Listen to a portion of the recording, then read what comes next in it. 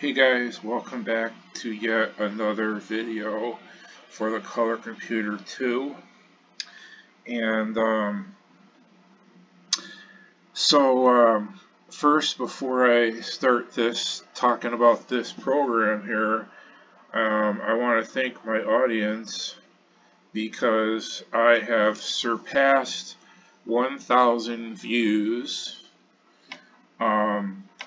Since I started this channel, which was several months ago, not quite a year yet, but I just want to thank you guys for um, watching my videos and keeping me um, on my toes and uh, this gives me something to do as an extra outlet. Um, these days there's not a lot going on.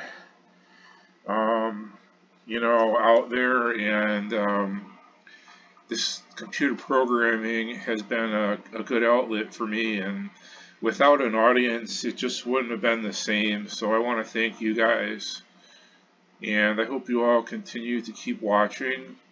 And so I was working on the Ghostman game for a while, and I had to stop that because um, um, I wanted to pick up on Tales of Suburbia, which is the um, role-playing game that I'm working on. So I had to, I had to um, do do some things with that because that that's really complicated and you know I if I let it go for too long then I'll forget what I how you know where I was where I was in the program and then you have to remember you know but anyways, so, you know, that's what I was doing for a while.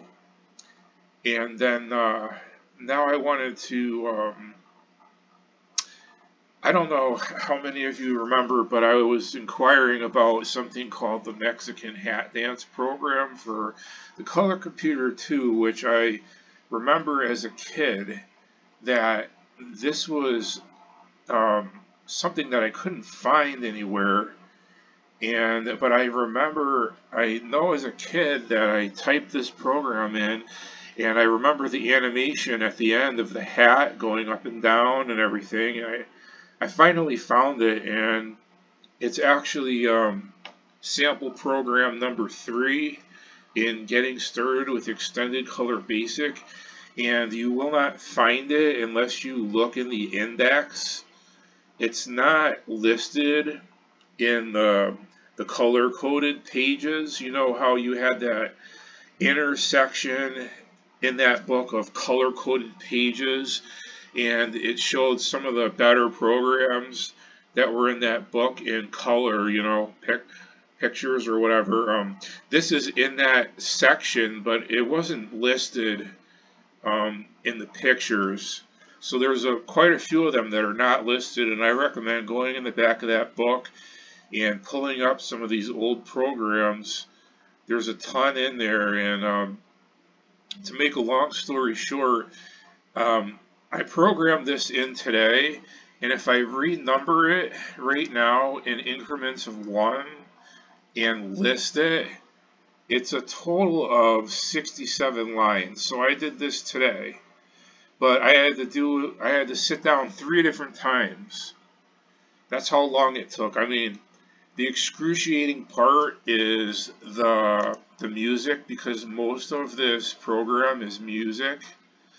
And it was just slews of musical code. I mean, look at this. It's dense. Look how dense that is. I mean, I mean, if you're going to do this, I recommend, you know, trying it out. But I can also tell you something that this book, Color Computer Getting Started with Extended Color Basic for the Color Computer 2 is just, it's just filled with mistakes. Just misprints um, galore and programming mistakes, um, things that don't make any sense. And I've I've encountered that throughout the entire book and now in the program section. It continued right into the programming section. I found about 10 mistakes in this program. There were lines that were backwards, there were quotation marks missing, um, just all sorts of things. Like, it, it was just a mess. So what I'm going to do is not today, but I'm going to post this video and then I'm going to include a correct form of this program in the in the um, in the description so that if you want to type this in for yourself, you can type it in and you'll know that it will work correctly. And I also spaced the musical data um, with semicolons, which makes it a lot easier to see because uh, the way they had it, oh my god, you needed like a you, you need a magnifying glass to figure out where one part ends and the other part begins. So it was a real nightmare. But um, the end result is very cool. So what I'm going to do is I'm going to run this program and let you watch it and then uh, I'm just going to cut the video off and you guys can make your comments if you want to or whatever. And I'll see you on the next video. Um, I'm not sure when that will be, but it'll be soon and it'll probably be the Pac-Man thing or my other game that I was working on that I mentioned. So that's it for now, guys. Take care, and I hope you enjoy this as much as I do.